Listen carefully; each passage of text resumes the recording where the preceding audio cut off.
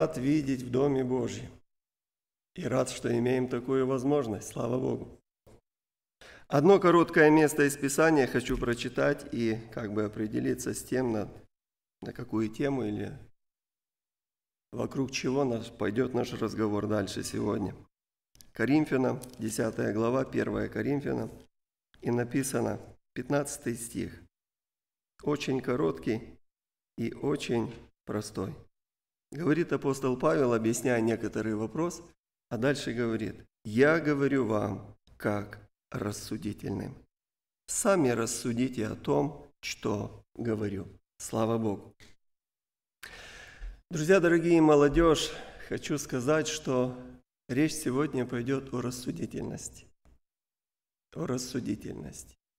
Оно такое мягкое слово, простое, не какое-то особенное – но когда взять его вторую сторону, противоположную, очень неприятно, говорит безрассудство. Рассудительность, ну, может быть, может не быть, но вот когда уже безрассудно человек поступает, это очень плохо. В Писании есть немало мест, где говорит, безрассудно ты поступил. И там такие тяжелые слова потом идут от Господа. Хочу сегодня немножечко обратить на это внимание, но прежде всего, знаете, мы все как из тюрьмы вышли сейчас. Э, все как будто маленький срок отсидели, и поэтому э, всякое общение, оно радует, и всякая возможность даже кому-то руку пожать уже приятно, и видеть людей без респиратора тоже радостно, и вообще вот, ну, ну торжественно торжественно. Я в церкви говорю, вы знаете, даже, даже вот э, чувство такое, э, раньше не думал, что я вас так люблю. Не, вот как-то не переживалось это, а теперь по-другому. И я смотрю, так все братья тоже, каждый да по слову о карантине скажет. Но не можем обойти это. Э, не так давно было откровение у нас в церкви, и было э, Говорит, э, раньше, вот сейчас, ну в то время, когда было откровение, сосуд говорит, вот каждый сидит возле своей кастрюльки, возле своей тарелочки, кто-то культурно, кто-то там по-разному, каждый свою пищу кушает. Но приходит время, когда, и говорит, я видела, что все сидели возле одной большого казана такого с кашей, и она была ужасно горячая, и каждый так, подувая на ложку, пытался, ну у всех была одна, все возле одной кастрюли. И мы так рассудили, даже понять нельзя, о чем идет речь. Ну, что-то будет сейчас у всех разное, а тогда будет у всех одинаковое. Но сейчас с кем не встретитесь, вы будете есть ту же самую кашу. Я просто уверен, что когда вот встречаются сегодня два человека, они говорят на одну и ту же тему. Вирус, проблемы, переживания, масса новых свидетельств, масса различных знаете, вот этих э, событий, которые произошли. И мне очень понравилось свидетельство одного из наших братьев, э, когда он говорит, когда я был совсем молодой, меня пригласили петь в хор. Хор был большой, церковь была большая. Ну и я пришел, там сразу братья обступили, взяли меня к себе, и мне через короткое время показалось, что я настолько серьезный певец, и что я наконец себя нашел на своем месте.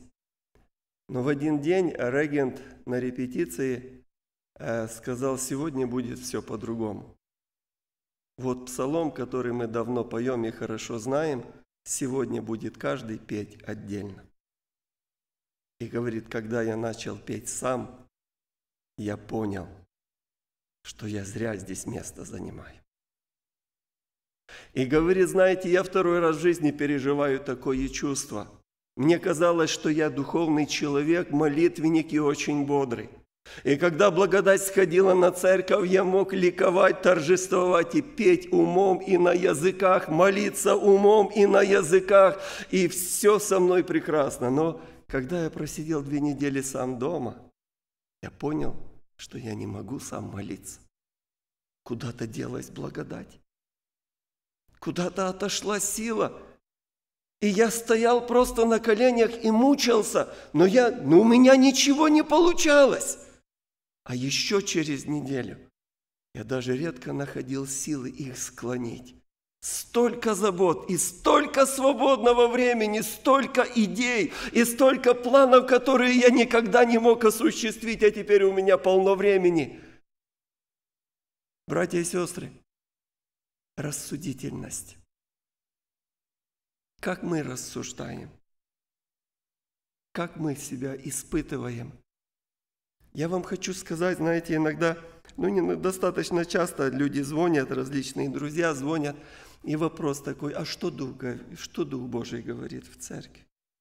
Я вам скажу, что Дух Божий говорит сегодня о том положении, которое есть. Это не закончилось. Гора еще дымится. Это как вулкан, он сделал выброс, но он продолжает дымиться, и никто не знает, будет следующий или где он будет. И это не только у нас в церкви, в нашем общении. Я имею откровения с разных штатов, где общаемся, они практически одинаковые – Господь совершил свой труд над народом по всему лицу земли, и народ поделился на три группы. Одни убоялись гнева Божьего и возбодрствовали, вострепетали, начали жизнь свою менять. Другие остались абсолютно безразличными к тому, что происходит вокруг. И говорит Господь, я еще буду совершать труд, я еще буду обкапывать, я еще буду удобрять, я еще приложу руки свои, мне нужен плод. Мне нужен плод с виноградника. Так говорит Дух Господень по церквям, вразумляя и наставляя нас. И я для себя скажу, как нужна здесь рассудительность. Взвесить. Ну да, я человек бодрствующий. Я читаю Писание, я вникаю в него. Я люблю молиться. Но изменилось ли что-то во мне после того, как Бог произвел такой грандиозный суд над всей землею? Изменилось ли в моем мышлении хоть что-нибудь? Или я просто выжидаю время? Поменялось ли мое э, общение с Богом? Поменялась ли моя внутренность? Поменялись ли мои цели, намерения, желания? Смотрю ли я по-другому на весь этот мир? Или все осталось по-прежнему? Рассути. Каждый свое сердце. Как нужна рассудительность сегодня? Говорит один из слуг фараона египетского однажды сказал перед фараоном, «Грехи мои вспоминаю я». Знаете, когда-то было время, я расскажу вам такую историю о, человек, о людях, о христианах, о людях. Было такое время, я уже вернулся с армии, но я абсолютно не думал о церкви, я не ходил в нее, я не принял Иисуса, и Он меня абсолютно не интересовал. Верующие люди, они, молодежь, они встречаются в церквях, на каких-то общениях, на молитвах. Мирская молодежь, она тоже имеет общение, она тоже не сидит дома. И мы встречались в других местах. Конечно, это далеко была не церковь. Там мы все друг друга знали, у каждого была своя команда. И, и ну, сильно мы не вникали, но друг друга все знали. И однажды мы сидели там за столиком, практически, знаете, в мире больше ревнуют, чем церкви. Там каждый вечер собираются. И мы сидели за столиком, и э, один мой друг, э, он дружил с девушкой, и практически уже должна была быть свадьба. Они долгое время общались, они любили друг друга, они нравились друг другу, и уже дело и шло к свадьбе, и вдруг что-то там произошло. И они поссорились. И он пришел сам очень огорченный. Ну и второй товарищ его утешал там и говорит, а э, в этом баре, где мы постоянно проводили время, там отдельно в уголочке всегда сидела, ну, опять-таки, своя группа, своя команда. И там были такие красивые девушки – и этот друг говорит, ну что ты расстраиваешься, смотри, какие красивые девушки, иди познакомься, хочешь, я пойду с тобой, чтобы тебе ну, не смущаться. Пойдем познакомимся. Он говорит, где? Вот там? Так это же штунды. Я тогда в первый раз слышал это слово. Кто-кто? Так это штунды. Ну я же хорошо знаю. У меня мать была верующей, поэтому у меня не было такого барьера. А у моих друзей это были люди абсолютно третьего сорта. И я потом стал наблюдать, к ним никто никогда не подходил. С ними никто не, не, не здоровался. Они вот таким отдельным лагерем всегда сидели в этом баре, пили свое кофе. И, ну, как бы они были и там, но они абсолютно были чужие для этого общества. Прошло время, не так много, лет пять. Бог призвал меня, мою жену. Мы уверовали, покаялись. И на том же месте, где мы когда-то сидели в баре, мы стали строить церковь. Уже организовалось человек до 80. Дом молитвы был уже построен. Очень все быстро пошло. И однажды к нам приехала группа молодежи, небольшая группа молодых братьев из Черновицы. Они приехали в гости посетить, посетить наше служение, побыли у нас, пообщались. И некоторые из них уже были, ну, у меня уже к тому времени было трое детей. А они были даже меня немножко старше, но еще не женаты. И я задал вопросы, почему ты еще не женился? Года уходят, жизнь твоя неполноценная. А он говорит, ты знаешь, никого не могу найти.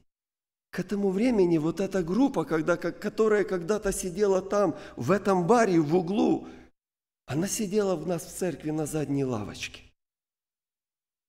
Я говорю, посмотри, они как раз чуть моложе меня возрастом, то есть по возрасту нету препятствий. Говорю, да посмотри, тебе что, глаза закрыты, что ли, не видишь? А он посмотрел, говорит, ты что, это же мир. Вы знаете, я, я был шокирован. В какое положение, как безрассудно порой можно проводить свою жизнь. Для мира ты штунда. Для штунд ты мир. Они по сегодняшний день не вышли замуж. Ни там и не здесь. И те, и другие их гнушались. Есть такая категория людей. Им хочется, им хочется успеть везде.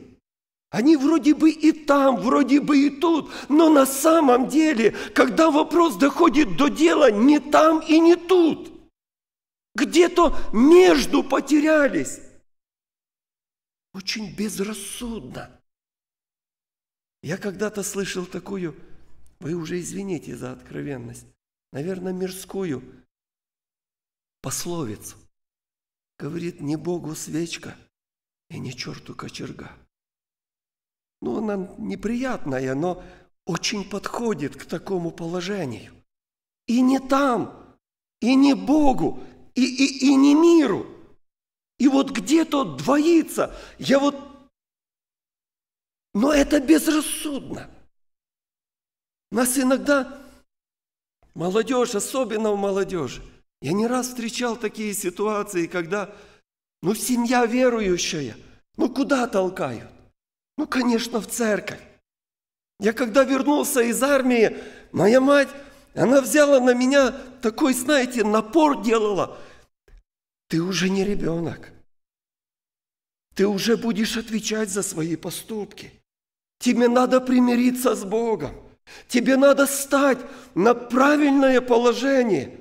Пока ты не наделал глупостей, пока не наделал ошибок, тебе надо идти в церковь. Тебе надо покаяться, тебе надо примириться с Богом, тебе надо вступить в завет с Ним. Вы знаете, эти ее наставления, они так ну, ну, настолько давили меня, я не мог это слушать. Меня это абсолютно не интересовало. Я мог неделями не приходить домой только по одной причине. Я не хочу это слышать. Я не хочу это слышать.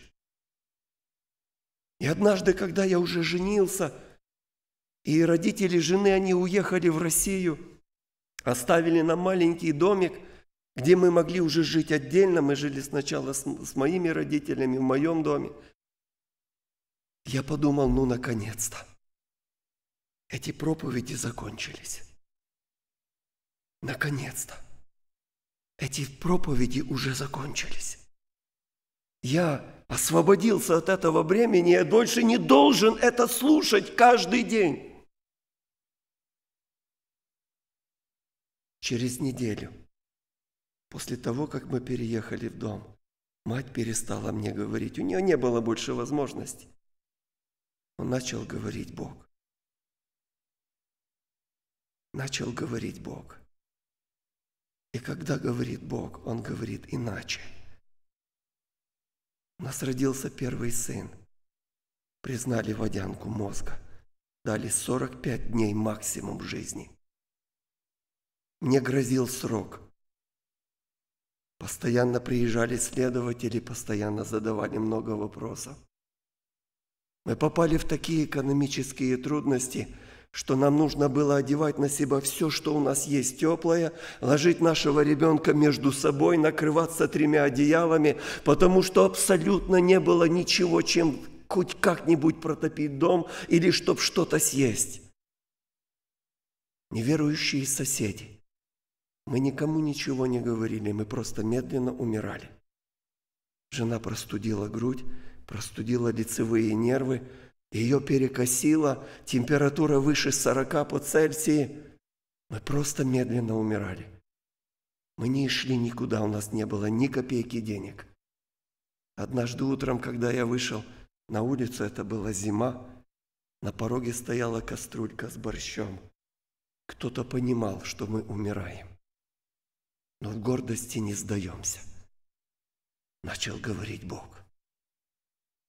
Друзья мои, как как важно иметь рассудительность в своем сердце. Как важно иметь рассудительность и понимать, что есть мир и что есть Бог и какая сила в Его руках. И что есть Бог? Какая сила в Его руках? И когда мы сегодня говорим о вирусах, многие переживают, но когда говорится о Боге, многие остаются безразличными. Послушай, весь мир может благоденствовать, а ты будешь умирать, потому что так определил Господь. Послушай, весь мир может умереть, а ты можешь остаться стоять. Потому что так определил Господь. Говорит, тысяча упадет слева и тысячи справа, десятки тысяч полягут. Тебя не коснется. Почему? Потому что ты возложил свою надежду на Господа. И сказал, упование мое Господь, слава Богу. Рассуди в сердце своем рассуди, как, она, как оно должно ходить перед Богом. И как оно должно искать близости Божьей. Свидетельствует брат, он сейчас служитель. Живем в Америке, купил пилу, ветки обрезать. Хорошая пила. Поработал несколько раз, и она сгорела. Думает, сдам еще не так давно я ее купил. К реситу, а он вчера 30 дней кончилось. Не могу уже. Вчера мог, сегодня уже не могу сдать. Есть мирская рассудительность. Писана она мерзость перед Богом. Говорит, тут дело простое. Пошел обратно в магазин, купил такую же.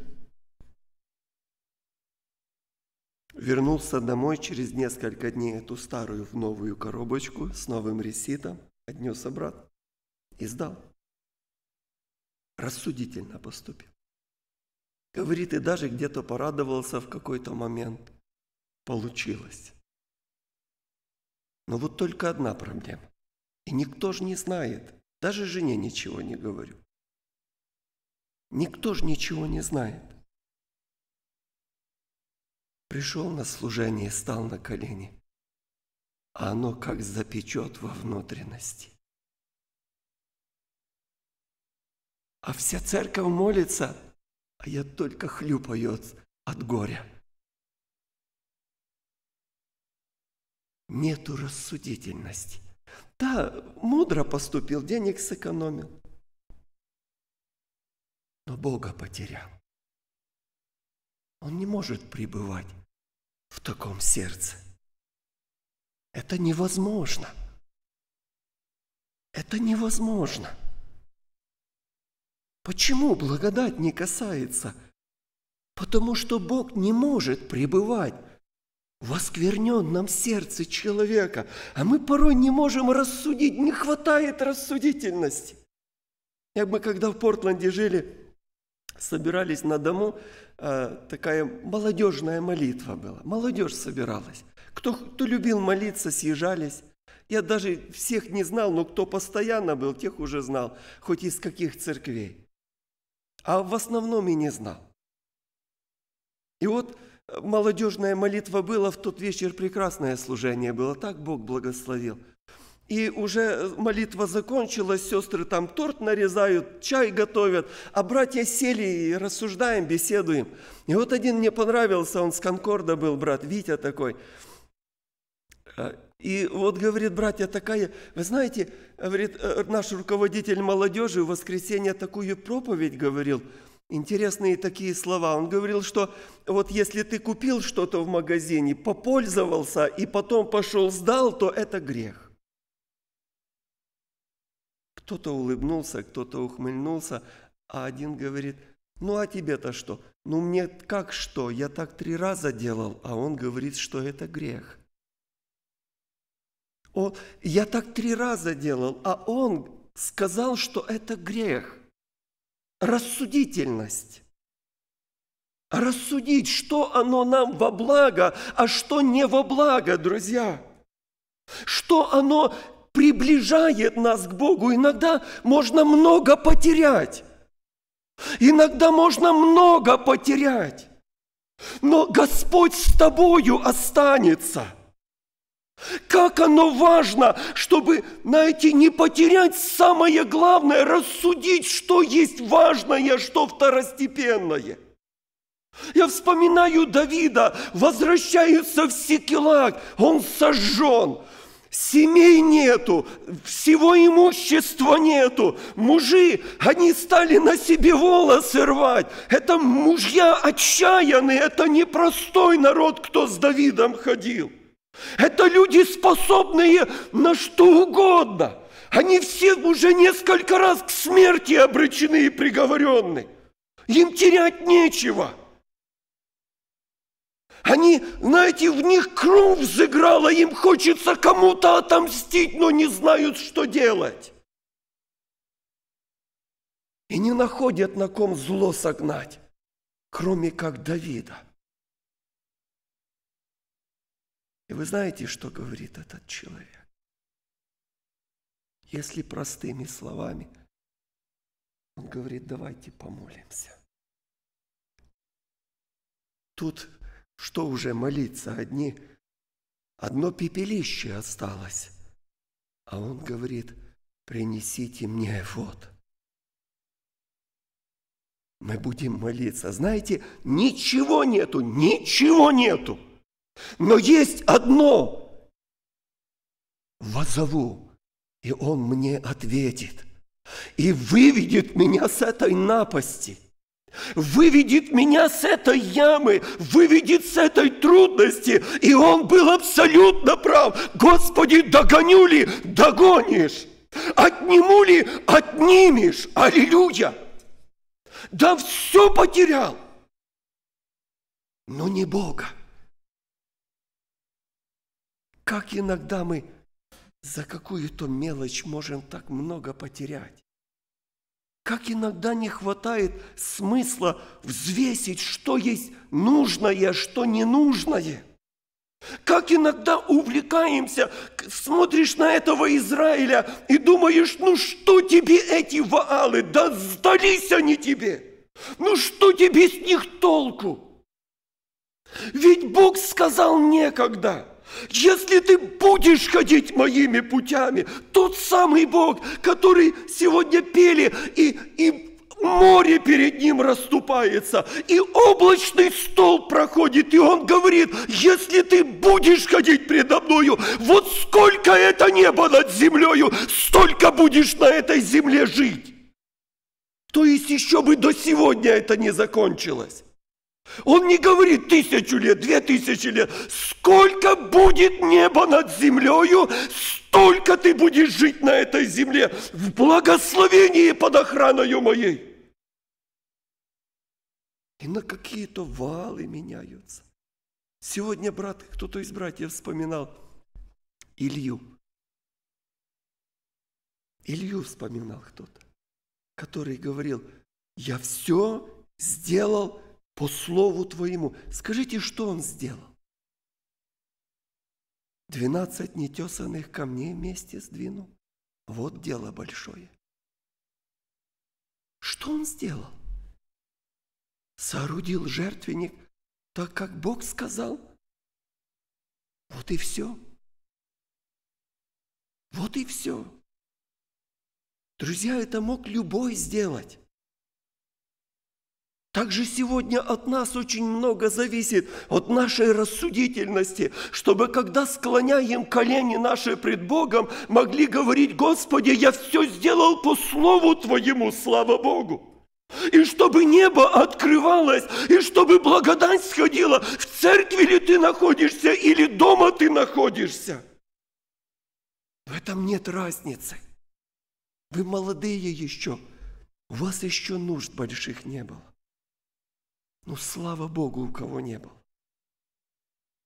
Уже начинается семейная жизнь. Появляются нужды. Серьезные вопросы. Серьезные вопросы в жизни восстают. Как оно важно рассудить и взвесить. И иногда думаешь, где же этой мудрости взять, где этого разума взять. Где, чтобы правильно рассудить вот и время, в которое мы сегодня живем? Кто-то в страхах, переживаниях, кто-то в равнодушии, в беспечии. Но надо же верное разумение всякого дела Божьего иметь. Всякого дела Божьего верное разумение надо иметь. И где его взять, это, этой рассудительности? Вспоминаю молодых парней из нашей местности. Старшего звали Миша, а младшего Саша. Старшему было лет 16, а Саше ну, года 3-4 моложе его. И неверующая семья. Неверующая, ни отец, ни мать. А бабушка стала ходить немножко в церковь по маминой линии. И потихоньку ей там очень понравилось – она впоследствии в завет с Богом вступила, ну и стала говорить детям, дети не хотят слушать, хоть внуков, дайте со мной на собрание сходят. Саша это не интересовало, а Мише понравилось. Принял Господа, полюбил Господа сердцем своим. Ему отец, как узнал, что он пошел сильно, восстал в таком гневе, битый был крепко за, за эту церковь, не мог больше ходить, но дали ему Евангелькую маленькую, и он дома мог читать. Но сердцем веровал. Случилось однажды, у Саши зуб разболелся. А живут, ну, кто с Черновицких знает, Баныли в Пидгирный. До города не добраться, а еще снега замели. Ну, в лучшем случае завтра к обеду быстрее не попадешь к врачу, а в селе никого с врачей нет. Опухла щека, воспаление, боль. Ну, мама что могла сделала? Что могла сделала? И говорит, иди попробуй лечь спать и уснуть. А завтра посмотрим, что с тобой делать. Он, ну, деваться некуда. Пошел с этой болью, лег, накрылся одеялом и хлюпает там под одеялом. Плачет, болит. Уже целый день отмучился, и всю ночь теперь, и кто знает, как там завтра дело будет.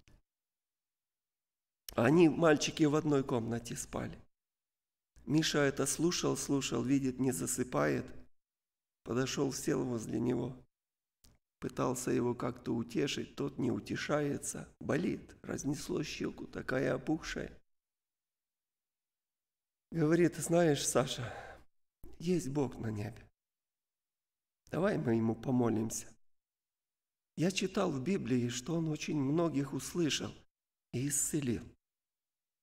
Если хочешь, я помолюсь за тебя. Молись. Тут сполз на колени, стал молиться, положил руку на его щеку и плакал перед Богом. Потом говорит, ну все, все, что могли, мы сделали, теперь ложись и пробуй уснуть. И сам пошел в свою кровать. Лег, начал только дремать, Сашка прибегает. Миша, Миша, смотри, нету, ничего нету. Опухоль сошла, Миша, растрес. До утра вопросов. А как он это сделал? А как он тебя услышал? Откуда ты его знаешь? А как он, что он еще может? До утра проповеди. А сам-то один раз в церкви был. Утром вместо зубного врача Миша в школу, Саша в школу побежал. Боли нет, опухоль прошла.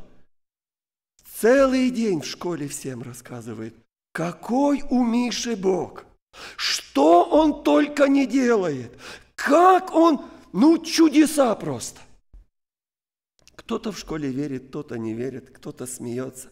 Одни стали спорить. Да тебе показалось, да оно само собой прошло. Да ты уснул, тебе померещилось. Он говорит, значит так.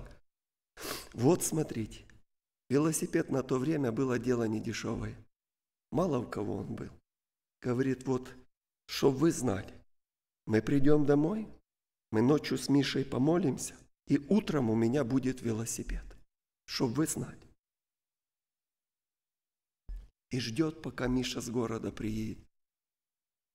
Ждет, Миша приедет, молиться будем. Все ждут. Знаете, этот Миша был один раз на служении. Его сердце коснулся Господь.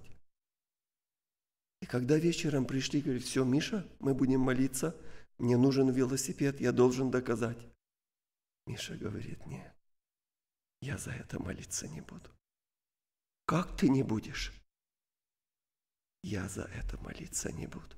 И я думаю, откуда в 16 лет такая рассудительность? Кто его наставил? Кто его учил? Есть вещи, которые Бог даст тебе ответ обязательно. И ты имеешь дерзновение с ними приходить пред Богом. Но есть вещи, которые, если Он хочет, Он может мне дать. Но я не буду Его об этом просить. Откуда в 16 лет такая рассудительность? От прикосновения Божьего – от того, когда Бог касается сердца, оно просветляется. Оно наполняется миром, и белое стает белым, а черное черным. И не надо института, чтобы понять Слово Божье. И не нужно университета, чтобы читать Евангелие и спасти душу свою. Не нужно ничего. Кто любит Бога, тому дается знание от Бога. Слава Богу. Тому Бог открывает, Он вразумляет, Он ведет его без единого класса и поворачивает весь мир. Это великая мудрость. Она приходит только от Господа. Только от Господа. Брат Павел, сейчас служитель церкви в Черновцах в свое время также убежал, ну, убежал, уехал из села от верующих родителей, попал в город, общежитие, друзья, молодежь, дискотеки, вот это мне по сердцу. А сидеть дома и плакать в этой маленькой церкви абсолютно мне не подходит. Но в один вечер он пришел после работы, устроился уже на, на заводе, работал. Пришел после работы в свое общежитие, упал просто на кровать, и стал решать, где проведет субботу и воскресенье. Что будет делать? И вдруг он понял, что он не может пошевелиться. Он пытался сделать какое-то движение, и тело абсолютно его не слушается. Что он только не делал. Он испугался, аж пот пошел. Не могу двинуться. Голова вроде соображает, но ничего не могу ни повернуть, ни двинуть. Вольно-невольно через какое-то время начал вспоминать о том, что родители верующие, что Бог есть на небе, что кроме людей есть, даже не могу голосом позвать, начал в уме молить Иисус, прости меня, помоги мне, выведи меня. Прошло какое-то время, прошло тепло по, по, по телу, и он опять стал чувствовать руки, потихонечку встал, не с первого раза, но встал на ноги. Вопрос был решен, где проведет выходные. Сегодня вечером есть молитва. Меня много раз туда приглашали, но я ни разу там не был. Она уже началась, уже слишком поздно, но он все равно побежал туда. Эта молитва была на квартире одной пожилой сестры. Он зашел туда и аккуратно открыл двери, народ в это время молился и стал за двери сразу на колени. Комнатка была наполнена народом Божьим и сразу стал на колени молиться перед Богом. И Господь поднимает сосуда. Он подходит к нему и говорит, «Итак, душа, сегодня ад и рай борются за душу твою. Стань, выбери, на чью сторону ты станешь». Выбери, потому что сегодня идет битва за твою душу. В воскресном служении он покаялся. В воскресном служении он покаялся, отдал свое сердце, свою жизнь Господу. Будучи на заводе, он очень хорошо вошел в коллектив, он такой общительный человек. И ну, кто знает, что такое советские предприятия. Обедний перерыв – это либо игра в карты, там целые турниры, череды, спорты. Это, это очень все серьезно. Либо домино, либо что-то еще в этом роде. В принципе, нет разницы. Целый цех собирается. Этот Паша со своим другом, он уже третий месяц лидирует, их никто не может выиграть. И сегодня опять игра. Весь цех там как на какое-то киношоу собираются. И так они, кто-то его столкнет или нет. Его партнер пришел там две минуты на обед, остальное на игру. А Паши нету. Люди собрались, ждут, обед проходит, сейчас надо идти обратно в цех. А Паши нету. И вдруг заметили, он в дальней в такой беседке сидит сам себе там.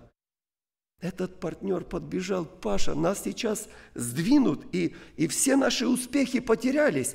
Пошли быстрее, что ты тут сидишь? Он говорит, Леня, я покаялся вчера. Я не могу. Ну, Паша, при чем здесь покаялся? Что это вообще значит? Но я теперь Богу буду служить. Хорошо, потом расскажешь, но сейчас надо бежать, мы потеряем все. Нет, нет, Леня, ты не понимаешь. Вот скажи, Скажи, вот сейчас мы тут вдвоем с тобой сидим и беседуем. Как ты думаешь, Христос может быть здесь среди нас? Это человек, который, наверное, один раз в жизни был в православной церкви, немножко задумался и говорит, думаю, да, почему бы нет? Хорошо, а когда мы пойдем туда и будем играть, ты думаешь, он может быть с нами там? Этот Леня задумался еще на секунду – Говорит, думаю, нет.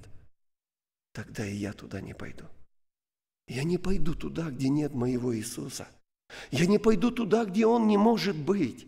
Я не пойду туда, где ему неприятно. Я не буду... Откуда эта рассудительность на второй день покаяния в человеке? Откуда такой здравый рассудок, высокие мысли? Откуда такие правильные весы жизни? Сколько раз мы взвешиваем и говорим, да ничего страшного. Сколько раз я сегодня слышу высказывания, если бы Иисус Христос был сегодняшний день, Он был бы таким кулгаем, Он бы ездил на Мерседесе, у Него был бы последняя модификация и селлер, Он бы был бы современный, Он не был бы таким отсталым амышем. Вы не слышали такого мнения сегодня? Его много бытует. Может, мы не говорим его вслух. Харизматы не стесняются об этом говорить. А мы часто так думаем, но так стесняемся сказать. Друзья мои, как сегодня нужно быть рассудительными.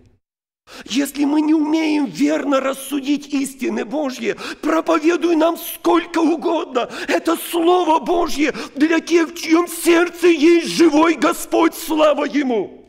А если его там не достает, здравого рассудка, Иаков говорит абсолютно откровенно, проси об этом у Бога. Моли Бога, Он даст просто, без упрека, даст мудрость, и ты сможешь рассудить. И сможешь иметь прекрасный жребий со священным народом Божьим. Сколько примеров осталось для нас в Израиле. Сколько примеров оставил для нас Израиль своей жизнью и своей смертью. И сколько раз у него не хватало рассудка. И сколько раз они жалели о том выборе, который сделали, о том слове, которое сказали, о том движении, которое приняли, о том желании, которое имели. Однажды Бог сказал такие слова, мы хорошо знаем об этом. Моисею, бери этот народ и веди его. Я пошлю ангела моего, он пойдет с вами. Он истребит народы от лица вашего. Он очистит перед вами земли. Он изгонит их всех. Бери и иди а я не пойду с вами. Вы знаете, если бы в сегодняшний день такое предложение, я думаю, многие бы на него согласились. Кто-нибудь из нас сказал бы, о, это, наверное, не слишком плохо, если в моем доме будет ангел Божий. Если он будет приготавливать передо мной путь, если он будет убирать с дороги моих врагов – это прекрасно. Это прекрасно. Но в человеке Божьем была высокая рассудительность. И он рассудил. Ангел, по сравнению с Богом, это так мало. Это ничто. Господи, лучше Ты погуби нас в пустыне. Но будь среди нас – нежели ты отвергнешь нас от лица своего. Как многие люди сегодня хотели бы идти за каким-то человеком, им нужен только вождь, чтобы кто-то и шел впереди и хоть как-нибудь показывал дорогу. Как многие сегодня меняют этих ангелов. Нет, этот мне не совсем подходит. Я пойду к другому, у того меньше правила. У того, у того легче направление. Но так мало кто взыскал в своем сердце и сказал, я хочу, чтобы Господь жил во мне, в моей внутренности. Я хочу, чтобы Господь жил в моем доме. Я хочу, чтобы Он был в бизнесе моем, в разуме моем, в сердце моем, в устах моих. Да, это иногда очень больно. Потому что утешение, которое Евангелие дает народу Божьему, говорит – Кого любит Господь, того наказывает и бьет всякого сына, которого принимает. Да, мы несем порой наказание, и нелегкие наказания. Но присутствие Божье в нашей жизни – видимость Его дел, ощущение Его благодати, оно гарантирует нам вечную жизнь. Кто сказал тебе, человек, что здесь ты можешь не чувствовать Бога, а потом, когда Он придет, ты вдруг пойдешь к Нему навстречу?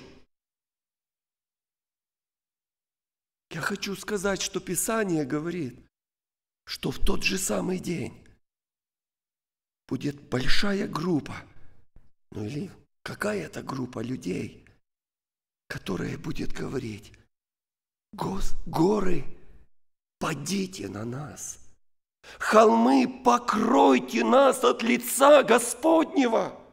Он пришел. Он уже пришел.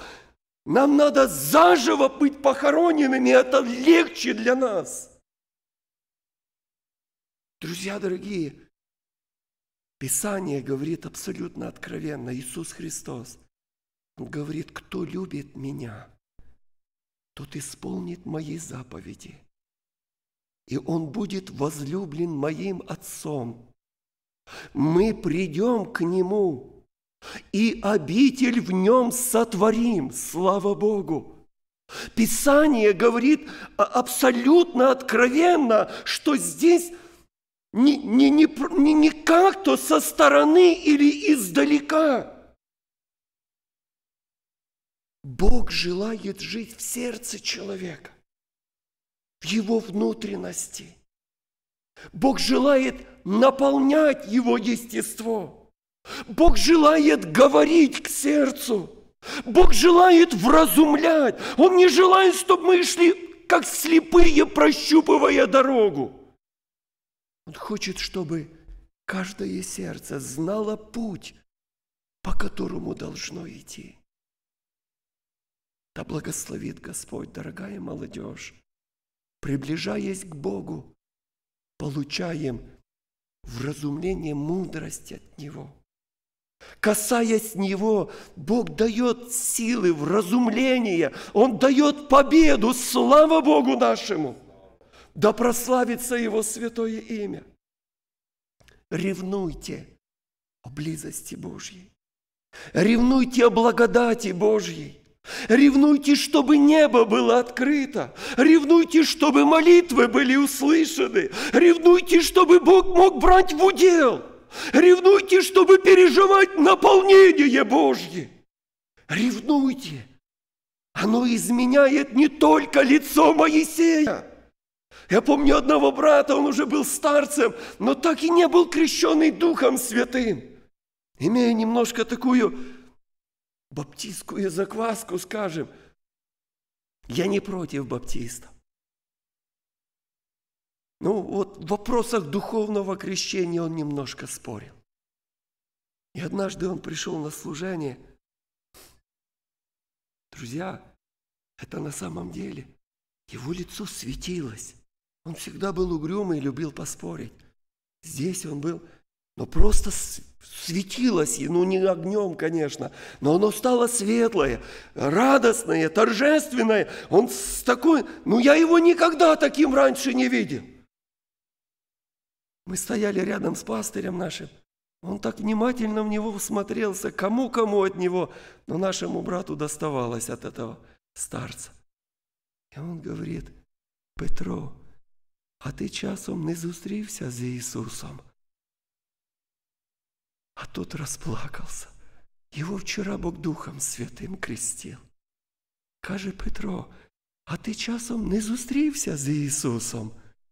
Все поменялось, друзья. Все поменялось. И это то, в чем мы нуждаемся. Это то, чего нам действительно надо. Это то, чего, о чем стоит ревновать, за что стоит платить, за что стоит терять, за что стоит быть в пренебрежении. Это то, за что стоит идти в тюрьмы. Это то, за что стоит быть обезглавленными. Стоит, друзья. Абсолютно стоит. Вы это не купите. И если он назвал сыном или дочерью своей, о, ухватить за это слово. Ухватить за это слово. Называешь отцом его. Аллилуйя! Аллилуйя! Слава Богу нашему! Пусть имя Господне будет прославлено – он недалеко от нас. Не думай, теперь надо много молиться. Теперь нужны, нужно брать посты. Теперь нужно там, не думай, сегодня может тебя крестить Духом Святым. Ибо Он есть на этом месте. Ибо Он видит и твое сердце сейчас, слава Богу. Он знает твою внутренность и твои помышления. Когда я бодрствовал о крещении Духом Святым, я видел тысячи людей, которые Бог крестил Духом Святым. Я чувствовал Его присутствие. Я знал, когда Он входил и когда выходил. Но Он меня не крестил Духом Святым. Этого не происходило со мной лично. Я сильно переживал, мне даже уже стало стыдно ходить на эти молитвы. Все получают, я нет. Всех Бог крестит Духом Святым. Ну, пять-шесть человек вечер, а меня нет. Думаю, ну просто уже стало стыдно людей, потому что в основном туда одни и те же люди приходили, старшие люди, исполненные Духом Святым, и молодые были, средних лет, но в основном старшие. И мне уже стыдно было от них. Я столько видел крещенных. Мою жену Бог крестил Духом Святым, а меня не крестит. И я перестал ходить на эти молитвы. Перестал ходить на эти молитвы, и однажды, будучи в собрании, а, как раз был ремонт, и центральный вход был закрыт, там забаррикадировано, все ремонт делали. А через вот такую одну дверь вся церковь выходила, примерно 600-650 человек. Вот через такую дверь все должны были. Ну и вот все туда сбивается, и там уже с кем, не, с кем встретился, с тем пообщаешься, никуда не денешься. А дальше лестница вниз и шла. Такой городской как бы а, а, две, два, два марша лестничных. И я встретился в этой, на выходе с одной старшей сестрой, которая бывала на этих молитвах и хорошо меня запомнила. И она говорит, о, давно тебя не видела, ты уже крещен Духом Святым? Я говорю, нет. О, тебе это надо. Как ты это так оставил? Тебе это надо. Ну и тут что-то поменялось, мы разошлись, и больше. Вот такой разговор был. Понедельник я возвращаюсь с работы, на велосипеде ехал. И еду так дорогой. И пою. Меня либо петь, либо молиться. После покаяния это, наверное, года два не останавливалось. И еду и, и пою, э, пою псалом. Потом вспомнил вот этот разговор вчерашний, вот этот короткую такую беседу. И перестал петь, и так в простоте стал и молиться. И говорю, Господи, она говорит, что мне это надо, а я не знаю. Ну, я, правда не знаю, надо оно мне или не надо. То если это мне надо, дай мне это. И опять стал петь дальше второй куплет – псалма, который я пел. Я проехал еще немножко, и вдруг в припеве этого псалма появилось несколько незнакомых слов на иных наречиях. Я думаю, смотри как, только вспомнил о тех молитвах, уже какие-то слова прилепились. И со, всех, со всей силы стараюсь от них избавиться. Ну, так пою, и уже не просто так, как течет себе, а, а стою на страже, чтобы все было по тексту, чтобы все было правильно. И я так прободрствовал весь, э, купле, весь э, припев, все у меня получилось правильно, и только начал петь следующий куплет, и он пошел на иных языках. Я остановился, а потом думаю, стоп, я ж только что просил у него, если мне это надо, ты мне дай. И больше я не говорил на своем языке. Я приехал домой, пытаюсь объяснить жене, что со мной произошло, а она только в духе вздыхает и на иных наречиях. У меня ни одного моего слова. Я вроде своими говорю, но ушами другие слышу. Я что-то детям хочу сказать на иных языках. Уже вечер пришел, уже, уже ну, время прошло несколько часов. Что-то сыну хочу сказать на иных языках. Думаю, Боже, что теперь у меня моих уже и не будет больше. Друзья дорогие, Господь, Он слышит вот искреннее. Вот когда рассудишь верно, что надо, что тебе ценно, что, что Господу от тебя нужно, что Он хочет тебя, где Он хочет тебя видеть, где ты Ему нужен – Господня милость совершает труд свой. Слава Иисусу! Друзья дорогие, Мы, мы сейчас будем молиться. Я знаю, я, наверное, уже затянул много. Мы сейчас будем молиться. Мы будем призывать имя Господне. Мне бы очень хотелось, чтобы наша молитва была откровенной, искренной. Чтобы мы могли рассудить в своем сердце. Мы знаем Писание, мы, мы не невежды. Мы наставлены, мы сами его читаем. Нам нужно, вы знаете, в этой книге я сам мало что понимаю. Я в основном больше здесь верю, чем понимаю.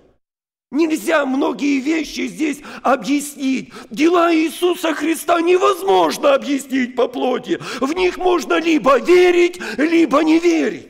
Это правда. Бога объяснить невозможно. Мы слишком люди плотские. Но в Него можно верить и верою приближаться к Нему. И приходит момент – о котором говорил Христос. Приходит момент, говорит, чтобы люди, видящие ваши добрые дела, вдруг перестали вас замечать, но начали воздавать славу прямо Богу. Прямо Богу. Я не знаю, это простой стих из Писания – но кто его из нас исполнил, тот блаженный человек, чтобы люди, смотря на мою жизнь, вдруг начали славить Бога. Ему должно жить во мне. Слава Богу, братья и сестры. Рассуди каждый над сердцем своим. Рассуди во внутренности своей. Я не знаю, у кого как сложится судьба, но я знаю, с кем пойдет Господь, тот будет счастлив отныне и во веки веков, навсегда. Тот получит счастье, не то, которое можно украсть, не то, которое можно поломать, не то, которое можно разрушить. Тот получит счастье, не ветшающее, вечное, непроходящее. Нет, не только на этой земле – навсегда. Слава Богу нашим. Склоним колени наши, друзья дорогие. Если кто-то желает, чтобы за него совершили молитву, вы можете проходить сюда вперед. Есть братья-служителя. Они будут молиться, помазанники Господни. Они подойдут и возложат руки на вас. Порой есть камни, которые мы не можем сдвинуть сами. Кто-то желает молиться прямо там, где вы есть. Молитесь, пусть Бог благословит. Склоняем колени, призываем имя Бога нашего, молимся, открывая сердце перед Ним.